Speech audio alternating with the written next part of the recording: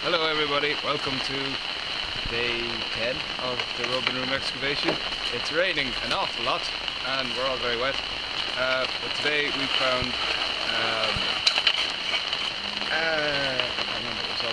Uh, we found um, we excavated the rest of our drying kiln uh, and we got some nice datable uh, samples out of it. We also found a fragment of a quernstone in it, which is for uh, grinding corn and um, today's been a lot of recording and planning and getting wet and that's about it.